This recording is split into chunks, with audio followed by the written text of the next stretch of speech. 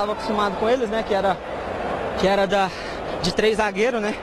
Mas a equipe foi, foi bem, fiz um bom primeiro tempo e soube matar o jogo na hora certa. Um gol importante para você nesse momento em que uma pequena parte da torcida às vezes pega no teu pé, mas a gente sabe da sua qualidade, Dudu.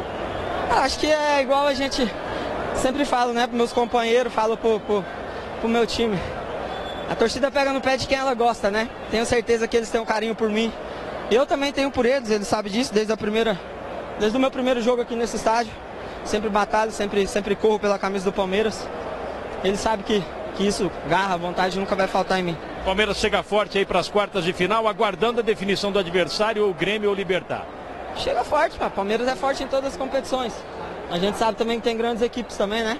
A gente vai trabalhar, como eu falei agora, é esquecer a Libertadores e, e focar agora no, no clássico de domingo, que a gente precisa fazer um bom, um bom, um bom jogo para retomar de novo a, no Campeonato Brasileiro. Verdade, tem o um jogo contra o Corinthians, né? O Palmeiras perdeu a liderança na última rodada, precisa aí uh, voltar a brigar ali pela primeira posição, né, Dudu?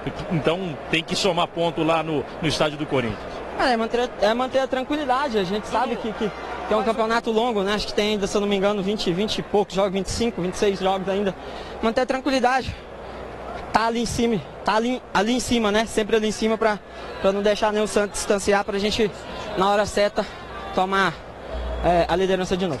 Obrigado então ao Dudu, atacante.